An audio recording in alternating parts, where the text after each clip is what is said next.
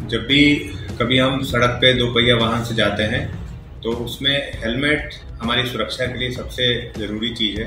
तो मैं आज सभी आम जन से ये अपील करूँगा कि आप जब भी दो पहिया वाहन पे जाएँ, हेलमेट ज़रूर लगाएँ, चाहे आप वाहन चला रहे हों, चाहे आप पीछे बैठे हों। हेलमेट का उपयोग करना बहुत ज़रूरी है, क्योंकि हेलमेट से हम किसी प्रकार की गंभीर, जो हमारी चोटें होती हैं या कैजुअलिटी होती हैं, उसको हम बचा सकते हैं और हमारी सुरक्षा के लिए सबसे बेहतरीन उपाय है। अभी माननीय हाईकोर्ट के निर्देशानुसार अभी पुलिस के द्वारा कार्रवाई की जा रही है इसमें, हेलमेट की चेकिंग की जा रही है। सभी आमजन से ये अनुरोध है कि इसमें सहयोग करें और हेलमेट का उपयोग करें और किसी प्रकार की असुविधा से बचें। हमको हेलमेट इसलिए नहीं लगाना चाहिए कि हमको कहीं पुलिस पकड़ लेगी। ये अपनी सुरक्षा के लिए ये लगाना आवश्यक है और स्वतः इसको हम लगाएँ। अपने घर परिवार में भी इसको प्रेरित करें, आम समाज में भी प्रेरित करें।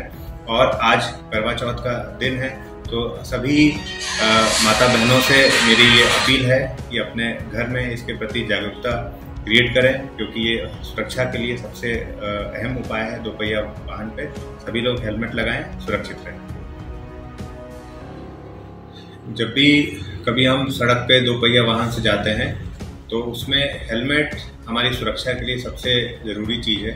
तो मैं आज सभी आम जन से ये अपील करूँगा कि आप जब भी दो पहिया वाहन पे जाएँ, हेलमेट ज़रूर लगाएँ, चाहे आप वाहन चला रहे हों, चाहे आप पीछे बैठे हों, हेलमेट का उपयोग करना बहुत ज़रूरी है, क्योंकि हेलमेट से हम किसी प्रकार की गंभीर, जो हमारी चोटें होती हैं या कैजुअलिटी होती हैं, उसको हम बचा सकते हैं और हमारी सुरक्षा के लिए सबसे बेहतरीन उपाय है।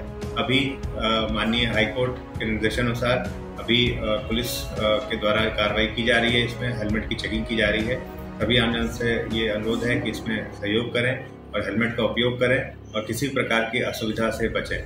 हमको हेलमेट इसलिए नहीं लगाना चाहिए कि हमको कहीं पुलिस पकड़ लेगी। ये अपनी सुरक्षा के लिए ये लगाना आवश्यक है और स्वतः इसको हम लगाएँ अपने घर परिवार में भी इसको प्रेरित करें आम समाज में भी प्रेरित करें।